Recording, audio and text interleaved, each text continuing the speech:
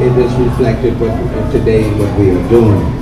A transformative shift is occurring in the way we as a community